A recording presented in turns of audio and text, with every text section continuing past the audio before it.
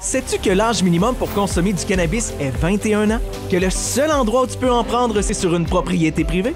Et que tu dois te le procurer dans une SQDC. On souhaite que tu aies une consommation responsable. On tient à toi.